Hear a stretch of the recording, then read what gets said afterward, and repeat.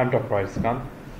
In this presentation, I will give definitions of some terminologies uh, which are used in biomechanics. The first one is the wagon wheel effect.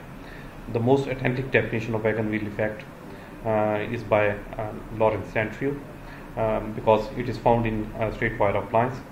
Uh, and we found out that in straight wire appliance, in the maxillary anterior region, when you give extra 4 degree positive torque, the tip decreases by 1 degree.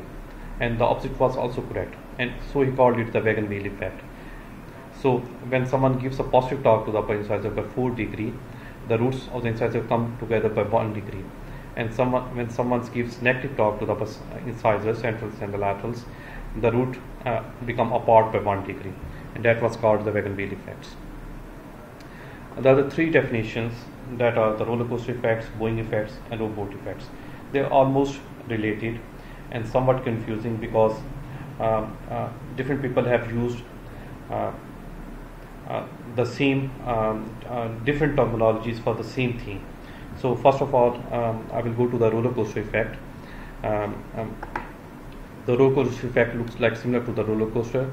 In the initial days of straight wire appliance, the basic mechanics was used to uh, retract the upper incisors, upper anterior teeth or the lower anterior teeth by class 2 elastics on lighter wires.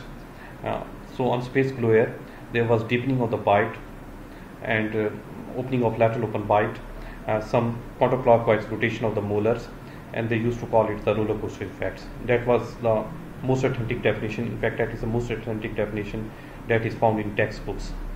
Uh, for the period of time, another term comes, comes in and uh, what I know, uh, it was first used in uh, Mulligan uh, mechanics by the books and that was called the bowing effects. So there are two basic parts um, and theories or there are two basic way the bowing effect is defined. First of all, it is similar, um, uh, explained similar to the roller coaster effects and that is def- definition is basically found in uh, most lingual orthodontic books and that when you uh, retract the upper incisors and the canines together on lighter wires, there is deepening of the bite and counterclockwise rotation of the molar, intrusion of the inside uh, of the canine and the premolars, and extrusion of the incisors. The bite can be deepened or open depending upon how much the molar is um, rotated counterclockwise or how much movement the molar get in. So th- that is called the vertical roller coaster effects or the vertical bowing effects. So when someone say that vertical bowing effects, it means the roller coaster effects.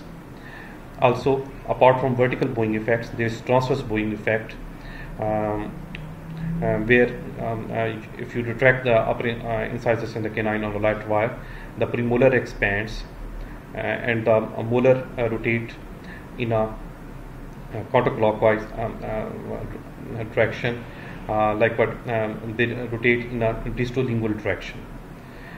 There was another definition put forward by um, Nanda in his book, and that was called uh, the bowing effect. That is when you retract the canines, upper canines or the lower canines. Uh, I will give the example of upper canines. Uh, the inclination, um, as the inclination changes, uh, or when you retract it on a lighter wire, um, the crown is retracted more than the root. So the wire existing the mesial part of the bracket goes downward, resulting in extrusion of the incisor. And he used to call it the bowing effect. So that was a vertical bowing effect. Uh, this is an example of the uh, transverse bowing effect, and that the crown is rotated disto uh, lingual, uh, the premolars are expanded, and incisors comes in. Uh, so that's the basic definition of Bo bowing effects in the transverse fraction. Then is the rowboat effect.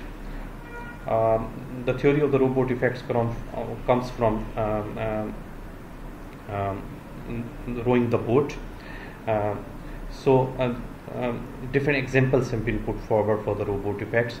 Uh, one example uh, that was put forward um, by White while discussing the Mulligan mechanics uh, that if you give the torque to the upper incisors um, by the wire and if you give a um, um, uh, like what stop it in the molar the incisor will procline it used to call it the bowing, uh, rowboat effect um, but if there is some stoppage of the incisors and the molars is dislodged it is also called a rowboat effect. Then other definition was put forward by Isaacson. That was back in 1990s I think. That when you give torque on the upper incisors uh, so the root should move parallel and you cinch back the wire on the molars. The torque would be expressed on the incisors but the molars will move forward. So he used to call it uh, also called it the rowboat effect. Then there is another definition put forward by Nanda that if the canine is upright or distally angulated and you go on continuous mechanics in those cases without placing a lace back wire on the canine the canine will up, upright or you know there's a positive tip on the canine uh, which is built within the brackets. As the canine will go in its optimum tip it will push the incisors forward uh, and the incisors will procline and he used to call it the rowboat effects so uh, there was a discussion on the forum and everyone was putting uh, different definitions and everyone was right because uh, these are the examples these are descriptive examples especially for the rowboat effects uh, for the roller coaster effects and the bowing effects um, uh, which have been placed forward by different authors.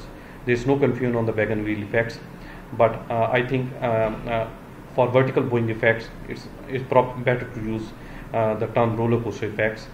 Um, you can use rowboat effects definition as I've given uh, you different examples that have been used in the literature and for transverse bowing effect uh, you can say it's a bowing effect. Thank you. I hope it would be uh, informative.